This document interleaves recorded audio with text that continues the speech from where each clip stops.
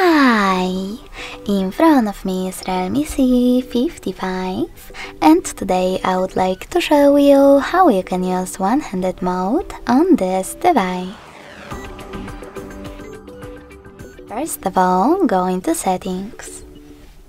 Now scroll all the way down to access additional settings. Then select one-handed mode and tap on this switcher next to one-handed mode in order to activate it. If you are using three keys navigation, you need to change it to gesture to use this mode.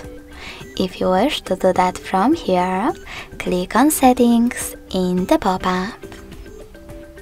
Now tap on gestures and click on the top left corner.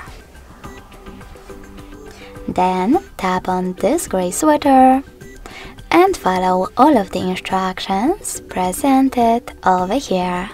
Swipe down from the bottom of the screen to enter one-handed mode.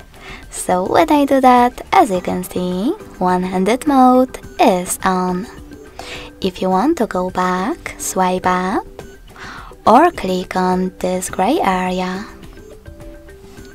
In order to disable one-handed mode completely, tap on the same now blue switcher. If you wish to go back to three keys navigation, tap on the top left corner, select System Navigation at the top, and click on Buttons. Thanks so much for watching. If you enjoyed this video, smash that like button, comment and subscribe.